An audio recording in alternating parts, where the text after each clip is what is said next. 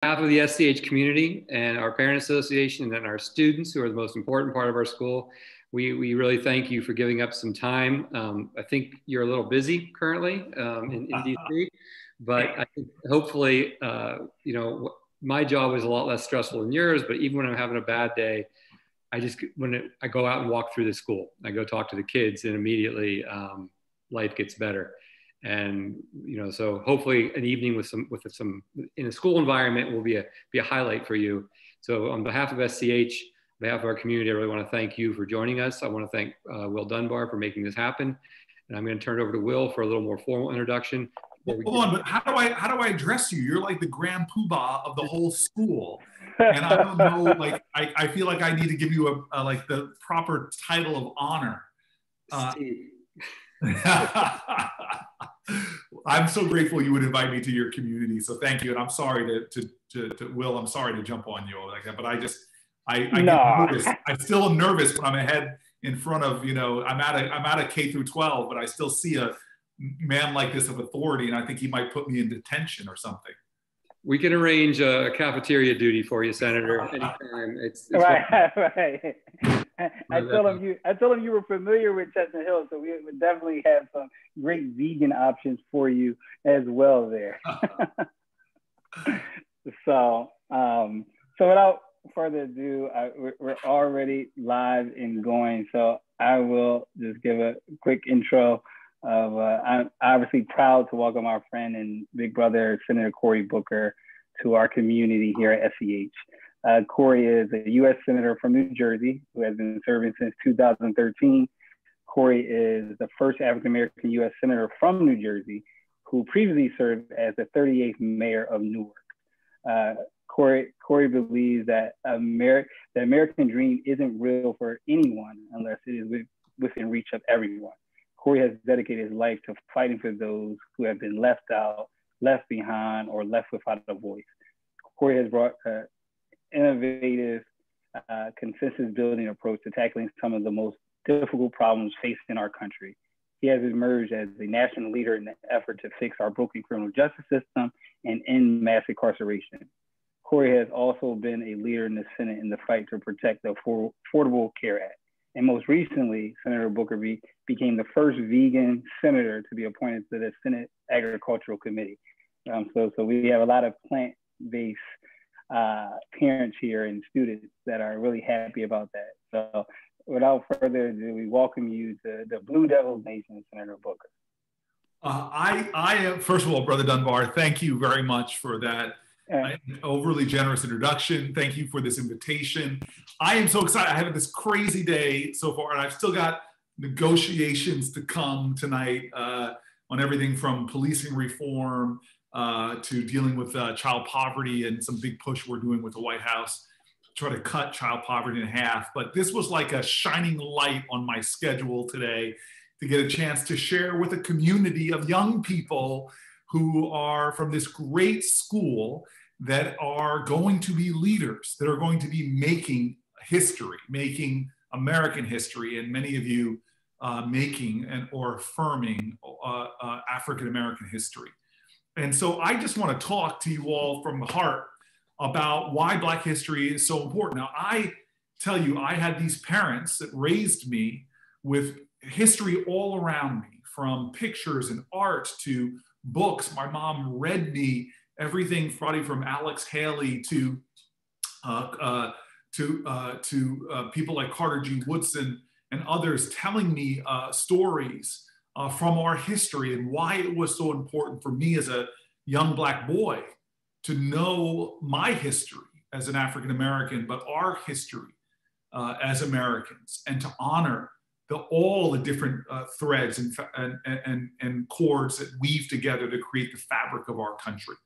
But my parents didn't want me just to know Black history because it's important, obviously. They wanted me to understand the great contributions of African Americans to this country. But they wanted Black history, the study of it, the knowledge of it, to activate me into being a person committed to this country and to the call and to the cause of this country. And my hope is no matter what your ethnic background is, that this month of looking back and seeing history, that you are affected in the present to be more committed to the cause of this country. Because if anything we know about Black history is that there are all of these Americans of African descent who were not enjoying this country, but were dying from it.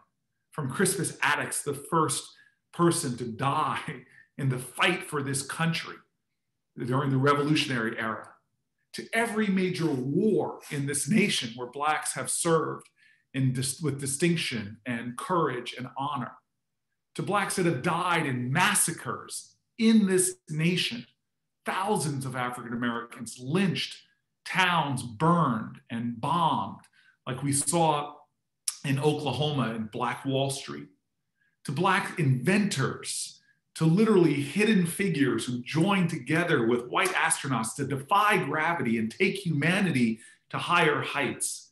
My hope for you in our conversation tonight is that you recognize that Black history isn't for Black people, Black history is for all of us to inspire us to move forward. Now, to give you a little Black history as America's fourth ever Black person elected, popularly elected to the United States Senate. Before me, was a guy named Barack Obama. Before that, it was a woman named Carol Moseley Braun. And the first elected African American to the United States Senate uh, was a man named uh, Edmund Brooke. Uh, I learned very quickly when I was sworn in by Joe Biden. He was vice president then, to Barack Obama, swore me in as a senator. Uh, before that, I went to go visit a man named John Lewis. Now, John Lewis is this titan, this hero, this giant of a man, even though I was much taller than him in reality. I looked up to the guy.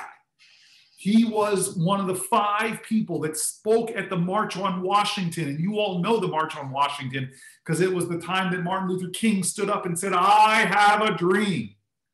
Well, that March on Washington, one of the greatest demonstrations for civil rights, John Lewis was just in his 20s when he spoke there. He was a young guy, and he was considered one of the bravest people in the civil rights movement because on multiple occasions in sit ins and freedom rides, he was beaten viciously as he tried in nonviolent protest to move this country more towards justice, equality, civil rights, and voting rights.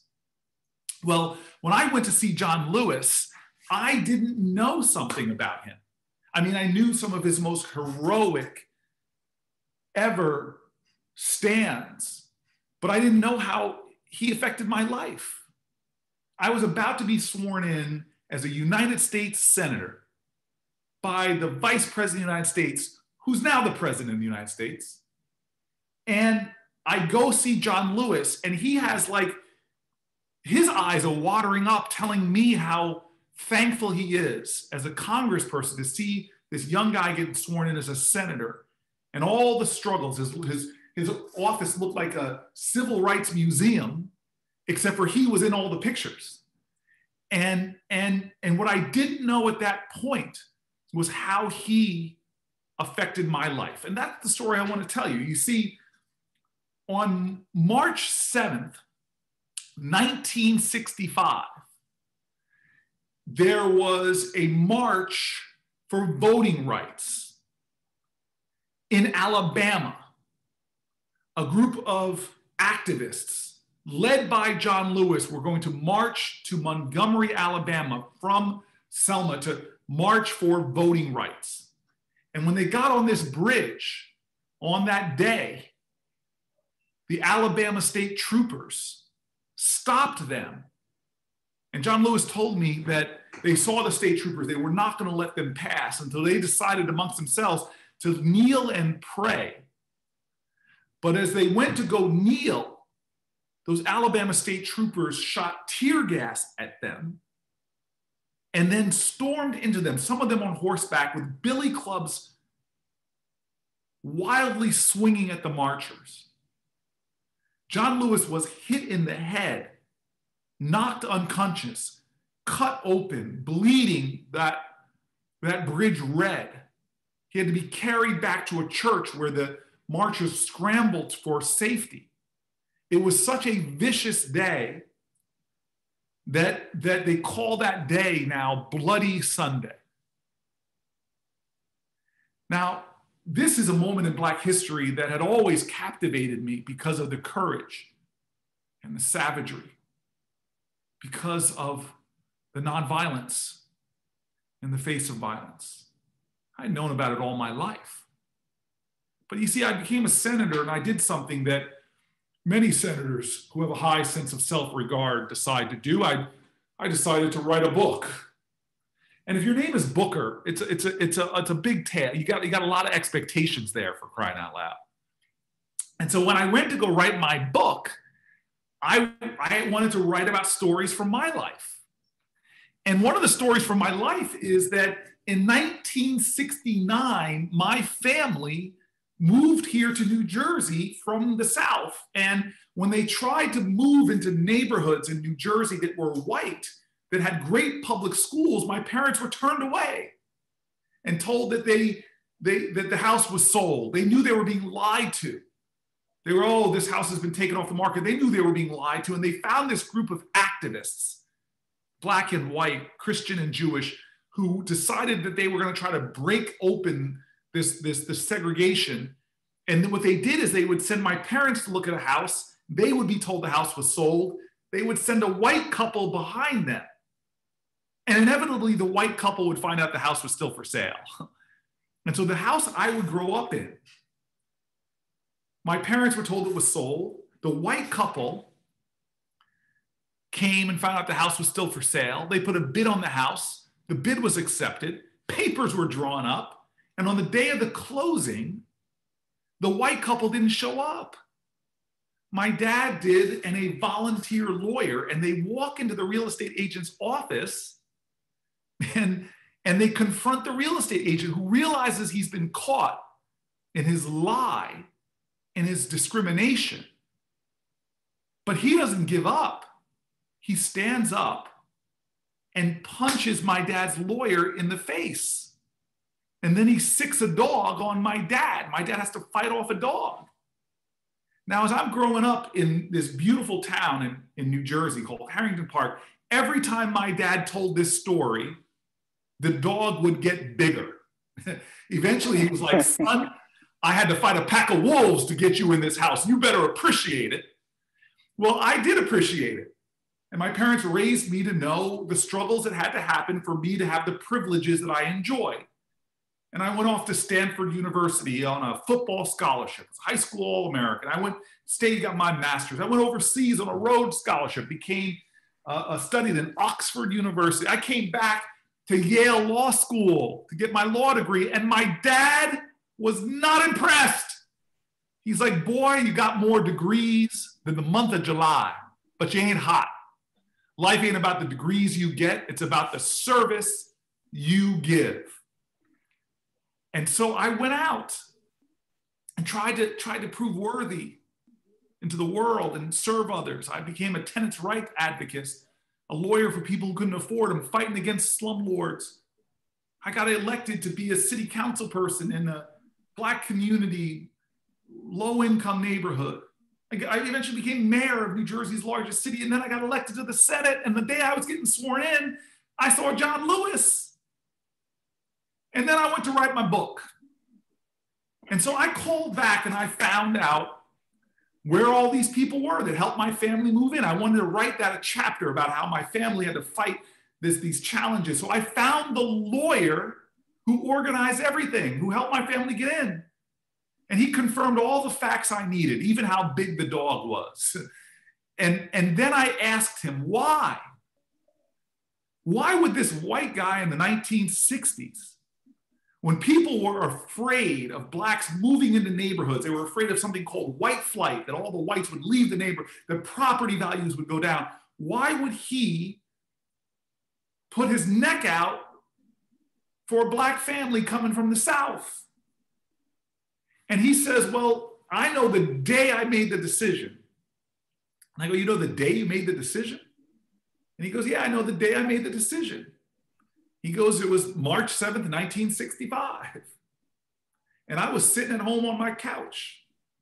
I just started a business. I was tired. I was working around the clock, struggling to make ends meet. And I sat down to watch a movie called Judgment at Nuremberg.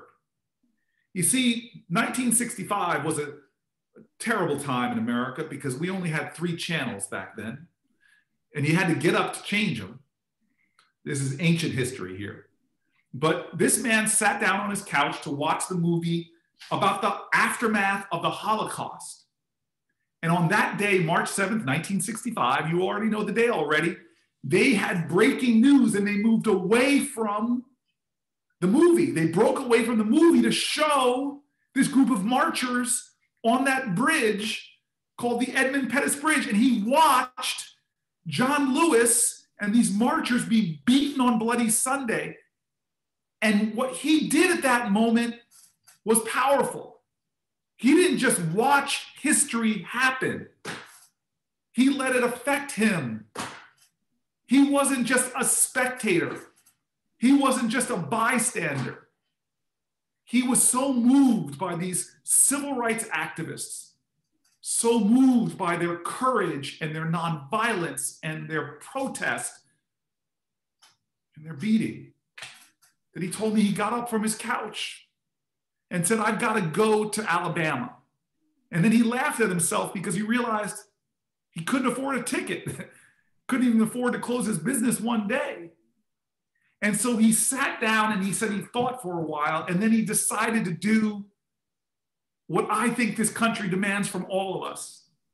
He said, First, I am not going to let my inability to do everything undermine my determination to do something and then he stood up and he said, You know what? I'm going to do the best I can with what I have where I am. As that old saying goes, you got to bloom where you're planted. And so he decided that he, after doing the calculation, that he could afford just one hour, just one hour a week of pro bono legal work. And he called around to see who might need help and he found this African American woman named Lee Porter. And she's like, Hallelujah, thank you, Jesus. I need some help because we got a problem with a racial real estate steering here. And can you help me figure out? And they worked together. They designed a sting operation. Years past 1965 to 66, 67. Finally, 1969, he says he gets this file of this family, a case file of a family struggling to move into the community. And he says to me, we, we fought, we got them into this house. And he goes, Cory, do you know the names on that case file? I go, sir, what were they? He goes, the two names, the family we helped, the two names were Cary and Carolyn Booker, your parents. I am literally sitting before you all right now. I am a United States Senator. Because in 1965, years before I was born, on a bridge in Alabama, Black history American history. People stood up for their country and were beaten down for its ideals. And even though they didn't succeed that day in making it to their destination, just by their act of courage, their heroism, that spirit literally leapt a thousand miles away and changed the heart of just one man on a couch in New Jersey, who then decided to do something for the cause of his country. And he would go on to change the destiny of my family and send me on a pathway to where I am today. Martin Luther King said it. We are all caught in an inescapable network of mutuality, tied together in a common garment of destiny. Black history is our history. What those heroes did in the past, it didn't end we are still riding the ripples of hope that they put forth, like waves, riding them forward. But the call of history is not for us to be free riders. The call of history is for us to make some waves ourselves, to be inspired by them, to continue to bend the arc of our history more towards justice. Thank you. Thank you very much, Senator Booker. That was excellent. Uh, as always. And I'm sure that the, the chat is blowing up from our students and communities and how wonderful a job you uh, have done. Because we have a lot of uh, eager students who had questions for you, but we, we, we, we had to get it down to three because we know you have a, a, busy schedule. So we'll give you three quick questions. And we know you're, you're elected official, so we know y'all like to talk. So, so um, the first question is, uh, do you, for one of our students, uh, do you think the Second Amendment should be repealed? Not a, yeah. not a loaded question at all, Senator. not, not a loaded question, did you say? Not a loaded not question. A Let's get the dad jokes in right now. yeah, yes. um, I think we have fully within our power the ability to end gun violence in America. And I don't think we need to repeal the Second Amendment to do it. I think we need to do the common sense things that should be done, like common sense universal background checks. Like, hey, if you need to be registered to drive a car anywhere in the United States of America, you should have a registration to buy a gun. in fact, I think you should we let people uh, have to take driver's tests and everything to, to drive a car. I think we should have registration. In fact, states that have had registration saw dramatic drops in violent crime. We should have treatment for mental health. We have suicide rates that are unconscionable, that are anguishing to the heart. We should have a, a nation where we invest in communities. We know that there is a correlation between poverty and gun violence.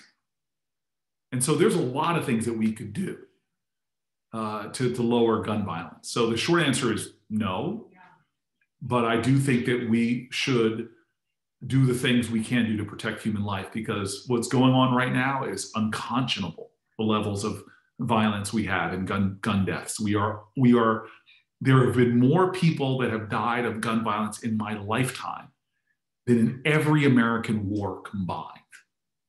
That is so horrific of a statistic, and, and we must do something about it. Great. Question two. I, I, need a drink after that. Oh, no, no. no. Tea, tea. Are you on a diet? Are you on a diet? Is that? I, I, I, I, am. Rosario, Rosario have you? She has you on a diet. She does. Rosario, uh, the, the, the Jedi in the family, has me on a diet. I will tell you this. Uh, I have never. Do you know this, Will Dunbar? Trivia question on me. I have never drank. I've never drank alcohol in my life. Did you know that? I do know. I do know that. You know, I know that. you and Mo and I. I'm saying it. I'm saying it more to get a wow out of Mr. Uh, uh, Mr. Druggan, knowing that maybe he'll let me. Out of, maybe he'll let me out of detention. Right. Exactly. All right. Question number two. number two. If you could give you your passed, younger self uh, one piece. Senator Booker, you passed okay. question number one. And when we had uh, Attorney General Shapiro and Marshall Mitchell on three weeks ago, they were trying to avoid that question. So I, I ceded that question to them. So I'm glad one of our students brought it to you. I love it. I you, are pulling A-listers. You had Shapiro on. Like did, we did have yes. You like you're putting like like Ellen DeGeneres and Oprah to shame with the kind of guest star. it's, it, well, we deserve it. yeah. uh, so number two, if you could give your younger self one piece of advice, what would it be? Besides enjoy your afro while you have it? um, that is a great question. That is a phenomenal question. I know some of the best pieces of advice I was given when I was young um, that I, I felt like I followed pretty well. I mean, so much of life is about hard work, I have to say. And, and I, um, I really, really benefited from that. Um, I'm trying to think of other, I just feel like I've had such a blessed life to have a lot of people come to me with wisdom, and I was willing to always try um, to follow that wisdom. Um, the you know I, i'm a big believer that if you want the things in life that other people don't have. You need to do the things in life that other people don't do. And I had a lot of people that always encouraged me to dare to be different in the work ethic and in doing out to get outrageous results you've got to put in outrageous effort so just be outrageous. I would do things that you know other people just wouldn't do. Read more. But i maybe the best advice i think it took me a while to learn this one about fear. Um, when i was in seventh grade i had one of my life's most embarrassing moments where i was um, i was running for president of my class it's actually my first election ever and I still remember the people I was running against. Andy uh, O'Grady, a great friend of mine who unfortunately died in 9/11. Chris Cheevers, another great friend of mine. Michael Coleman. It was I don't know why all the, it was only four boys. I, I um, but I, I but uh, and I it was my turn to speak in front of the whole class. And, and my biggest fear in life manifested itself. I was terrified about speaking in front of crowds and I froze. I could not get a word out, I, and I was shaking in front of all all my classmates, including the girl I had a crush on, which was particularly uh, uh, painful. And I think that I was lucky to have adults around me that saw something in me and knew I needed to conquer this fear. And I still remember the teachers that pushed me to go into the school play even though it was like like the the, the like the thing I was most terrified about. Um, and so I guess the best thing I would do is say it, this lesson I learned, and eventually I got very comfortable speaking in front of people. But I guess the thing maybe I would tell my I'd go back to tell that terrified uh, kid in seventh grade that the things you are afraid of, you shouldn't avoid. You should lean into to, to try to face, to go towards your fear, because that's when you're going to find your greatest fortune. Uh, that your fears are, are roadmaps of where you should go. Uh, and you'll discover such extraordinary gifts if you face your fears.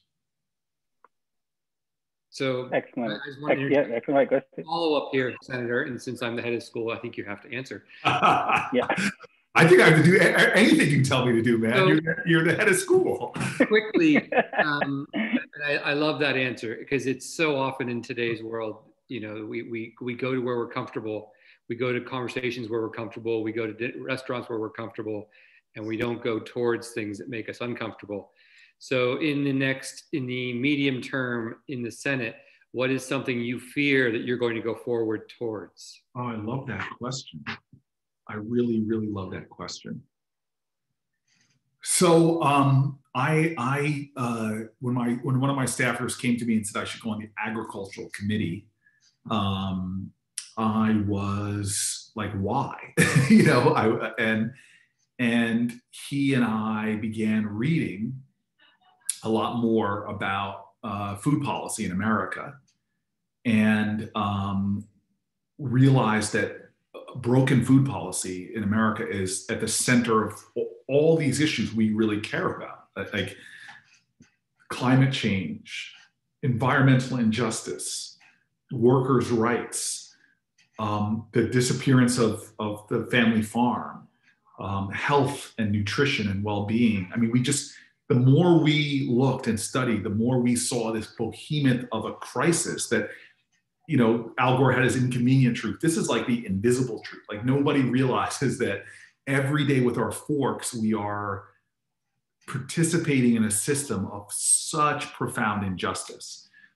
And we knew that we would be the skunk at the party by getting on this committee and um, getting backlash. Uh, it's, it's one of the strongest lobbies in Washington is big food and uh, they have a lot of influence on both sides of the aisle. And so we're about to take on a very big fight. Um, and I just got the chairmanship of a subcommittee that's about nutrition, and uh, and there are sacred cows there. Like, why is it that we as a country subsidize everything that another part of government tells us to get that gets us sick Only 2% of our subsidies go to the things that our government tells us we should eat the majority of. Fruits and vegetables get only 2% of our subsidies. The rest go to these massive monocrops that are used for all the sugar and processed foods that we that are making us sick. So I, I wouldn't say I'm I, am i am I'm afraid. I, I I am more just really sobered about what it's going to take to make change in an area where most people glorify the, the, the, the, food disaster that we have. When I go on my Instagram, I've been one of those people that loves to post pictures of uh, a bacchanal of food, when in reality, a $1 Happy Meal is a great example of the injustice of our country that there's so much government tax dollars that go into that Happy Meal. And then we have to subsidize on the other side the incredible healthcare costs. There's a great black activist named Ron Finley. You should look, he's got a, a TED talk that's been viewed millions of times. They call him the guerrilla gardener because he would just take over land and plant vegetables. And, and, and he has this saying that in South Central, we have drive-bys and drive-throughs, and the drive-throughs are killing so many more people than the drive-bys. The number one killers in this country, uh, as one other activist calls it, the slow genocide of, of, of, many Americans, is, uh, is the things that are at the end of our fork that our government has subsidized, are, uh, that target low-income communities, that target African American communities, uh, communities of color, and the government money and footprint is all over it um, as these uh, big multinational corporations are profiting off of our health misery. And and unfortunately, we you know we export a lot of things to the world culturally, and this is one of the things we've exported culturally. And and it, it, well, well, you probably, you probably saw the first time I realized that the truth you just spoke um, was in a movie called uh, Forks Over Knives. And they did uh, it's a, the China study, which is this longitudinal study in China of provinces that were not eating the, the standard American diet, otherwise known as SAD. And they had no rates of breast cancers, testicular cancers, prostate, no, like none of the diseases that are common epidemic levels in, in America, like type 2 diabetes. But then as they are slowly shifting to an American diet, and we're exporting now KFC, all these fast food joints, you just see places go from none of these things to spiking up. And so the planet Earth, from the environmental standpoint, cannot, the, the, we kill about 10 billion animals a year here in America. And we, it is unsustainable from an environmental perspective. So that's one way it's unsustainable. And then the other reason it's unsustainable, uh, so it's unsustainable to our climate, our rivers, our lakes are being polluted. The biggest dead zone, one of the biggest dead zones in the world is just all the runoff of the feces of animals. It ends up in the Gulf of Mexico that's just killing everything. So the ecological disaster, but the other part of the disaster is the global health costs of diabetes and heart disease. Is, it, it, there's no way we as a, a human species can keep up with the cost curves even in our own country, the Medicaid, Medicare costs of chronic disease is just going to be impossible. So we are headed towards an ecological health uh, uh, disaster, and we're seeing it in our children. As the military now says, uh, that we have these large percentages of American children that couldn't even qualify for the military because because chronic uh, obesity and diabetes is so out of control for our children uh, and and we are we have to do something about it. So I am very sober that I'm going to be the skunk at the party and trying to tell truths that you seem to already know. Uh, but I'm glad that we're in this trench together, and I hope that you'll come down to Washington and uh, protect me. So the, the we will. tweet of the night then is that Senator Booker's taking on Big Sugar. That's what I heard. Yes, no, it's, it's, it's Big Sugar is did you, I mean, just, just I mean, to say things to people like the SNAP payments, Pepsi and Coke make, I'm not exaggerating the number, billions of dollars uh, uh, yeah. because we subsidize uh, um, uh, uh, uh, the, the purchase of, of, of destructive calories. And that's a huge controversial issue, um, the way we subsidize sugar, but, but it literally is killing us. And it's especially killing low income Americans who so much of this food is targeted towards. And now that you go on these websites like Nickelodeon's platform and you see these sh- sugar being pitched to our kids from the youngest of ages, um, it's it's so so the short answer is yeah, we've got to take on that challenge, or else we'll never get out of this trap. Thank you for honestly answering my question, Senator. Will, what you have your third and, question? And the, the, last and final question is something that I know you're passionate about. That my my three boys particularly my two high school ones, would kill me if you didn't answer this question. Uh, do you think college athletes should be paid? Now, this is a this is a loud ball question because I already know your legislation pretty super well on this. You and I have had tons of conversation on this, but for our community, do you think yeah. college athletes? We have a lot of athletes that are at SCH, uh, so so they're well, eager to hear for all the teachers that are on here, I just want you to know I got into Stanford because of a 4.0 and a 1600. Uh, 4.0 yards per carry, 1600 receiving yards. My senior year in high school, I was a, a, a high school all-American football player. Faye is upstairs cracking up at your answer. She loves that answer every time you give it. it's my go-to dad joke, um, yeah. and uh, um, so I played uh, football at Stanford, and we played everybody from USC to Notre Dame. So the best years of my life. But I was astonished at the exploitation of a lot of these athletes that I would witness, where they would drive millions of dollars in revenue.